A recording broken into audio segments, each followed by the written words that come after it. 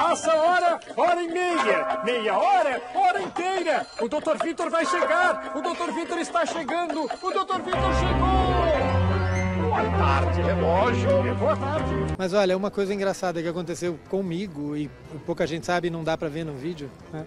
É, eu, durante as gravações do Castelo, sofri um acidente de moto e quebrei clavícula. E as gravações não podiam parar. Não, não, não dava tempo, não, não existia possibilidade de parar.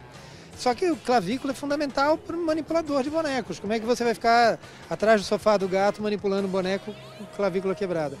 E na época, para a gente não parar, foi escolhida uma pessoa do elenco dos manipuladores, o Luciano Tani, que fazia a Gralha Adelaide. E ele passou a manipular o gato e eu, mesmo com a clavícula quebrada, ia para o estúdio para fazer a voz do gato simultâneo na cena. Então, quer dizer, mesmo quebrado eu estava lá, quem estava na roubada embaixo do buraco era o Luciano Tani. E as cenas aconteceram, ninguém sabe, ninguém nem imagina, e tá tudo bonitinho no ar. Mas como chora esta cobra, hein? O que será que está acontecendo? Eu não consigo nem me concentrar aqui nesta poesia. Olha, uh, o, o, grupo de, de bonequeiros do castelo não era tão grande. A maioria dobrava personagem lá dentro, né? E mais uma coisa foi legal, os bonequeiros foram homenageados pela direção do programa. Então nem todo mundo sabe, mas uh, os bonequeiros fizeram em algum momento, em algum episódio, uma participação com a cara, atuando. Uh, então, por exemplo, eu participei de um episódio do Capitão Baleia.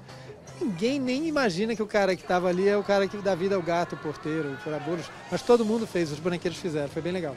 Não! Estamos de volta! É, você pode ver toda a turma do castelo. É, é, agora com o castelo ao vivo. De verdade, você pode entrar no castelo. Venha ver. Não.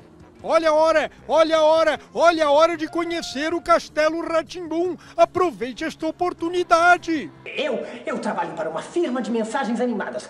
Aliás, eu tenho aqui o meu cartãozinho, olha. Se vocês quiserem mandar uma mensagem animada para alguém, basta me chamar. Até logo! Ah!